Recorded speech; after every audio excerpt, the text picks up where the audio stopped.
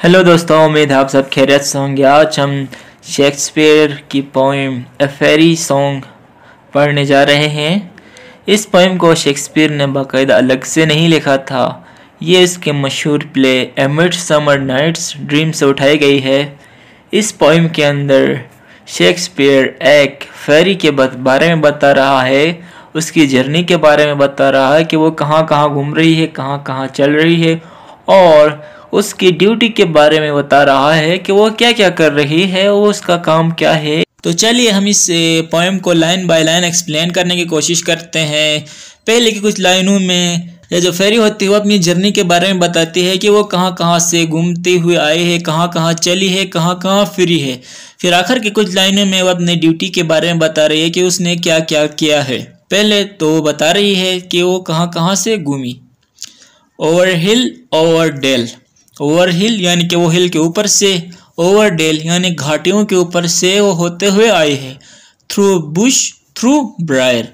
Bush कहते हैं झाड़ियों को, जैसे कि आप तस्वीर में भी देख सकते हैं, और थ्रो ब्रायर। ब्रायर बे किस्म का, समझ ले के कांटू से बड़ा नुकीला दार, एक प्लांट होता है, एक दरख्त होता है। ओवर पाक ओवर पेल।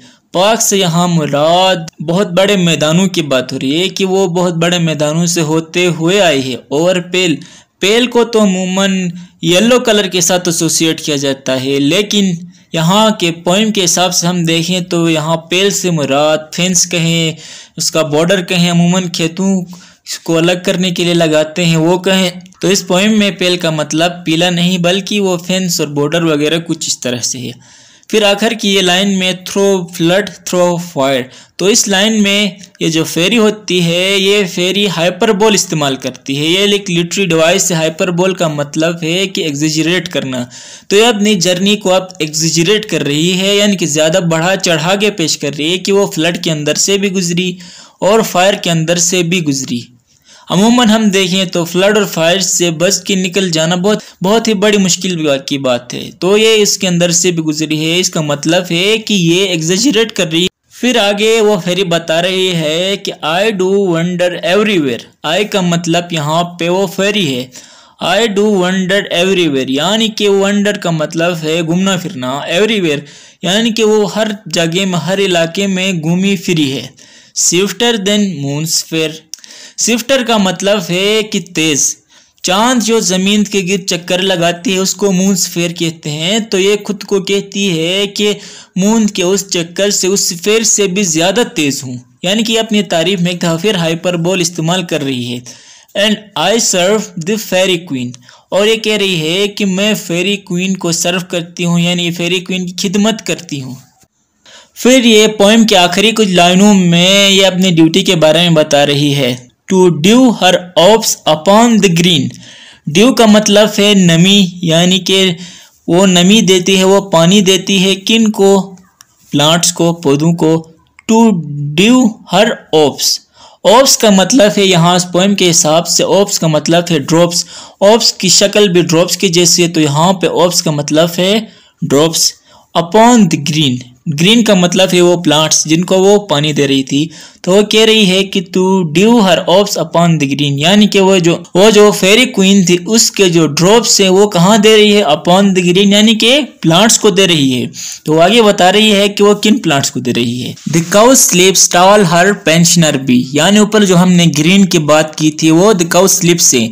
काउ स्लीप्स एक किस्म का, समझ लेके कोई फ्लावर होते हैं फूल होते हैं। ये उनकी बात कर रही है कि the cowslips tall cowslips की जो टहनियाँ होती है, वो थोड़ी लंबी सी होती है, इसलिए उनको टॉल कह रही है। हर पेंशनर भी पेंशनर का मतलब वही पेंशनर हो गए जो अमूमन हम देखते हैं कि गवर्नमेंट से रिटायरमेंट के बाद उनको कुछ अमाउंट मिलता है पेंशन की शक्ल में, जिनको पेंशन कहा जाता है। तो ये इन कव स्लिप्स को क्या कह रही है कि फेरी क्वीन के पेंशनर से क्योंकि फेरी क्वीन उनको क्या दे रही है? ऊपर हमने बात की थी ड्रॉप्स दे रही है ऑफ्स दे रही है।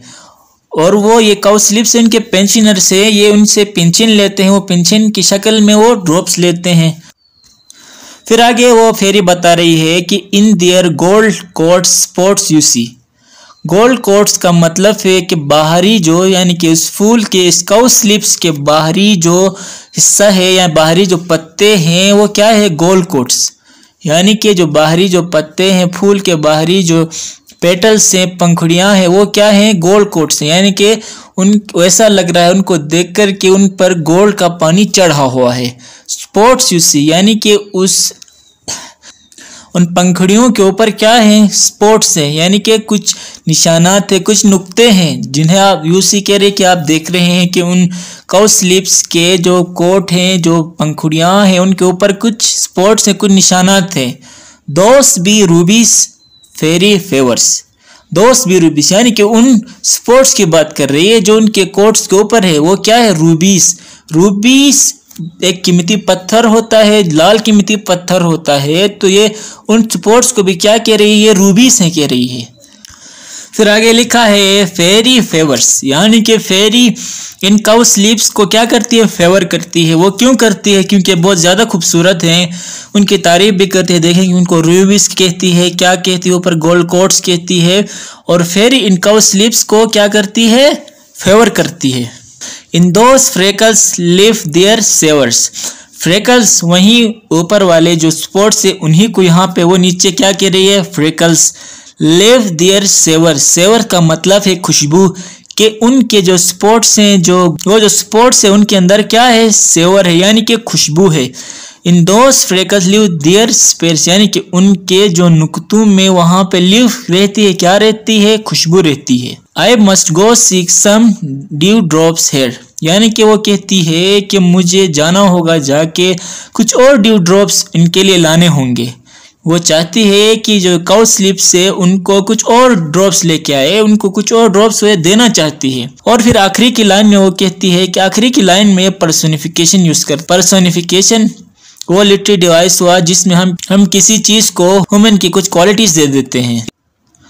तो आखिरी लाइन में वो कहती है कि एंड हैंग अ पर्ल और वो हैंग मतलब लटकाना चाहती है पर्ल मोती in every cowslip's ear cowslips के हम देखें तो ईयर तो नहीं होते, ये एक ह्यूमन क्वालिटी उसको दी हुई है। तो ये चाहती है कि उन जो काउ स्लिप्स से उन कुछ ड्यू ड्रॉप्स उनके ऊपर गिरा दूँ ताकि ये मोतियों की तरह लट के चमके रहे। अमूमन हम जब सुबह उठ के देखते हैं तो कुछ पौधों पर कुछ जो घास है उसके ऊपर या कुछ जो ड्रॉप्स होते हैं वो सुबह जब सूरज हल्का सा निकलता है तो मोतियों की तरह चमकते हैं। तो यहाँ पर ये फेरी भी बिल्कुल ऐसा ही चाहती है कि जो कव स्लिप से उसके ऊपर जो मैं ड्रॉप्स गिराऊं तो वो मोतियों की तरह चमके, यानी मोतियों की तरह लटके। उम्मीद है आपको शेक्सपियर की शॉर्ट पोएम पसंद आ गई हो गई समझ आ गई होगी। कोई क्वेश्चन है तो आप नीचे कमेंट में भी बता सकते हैं।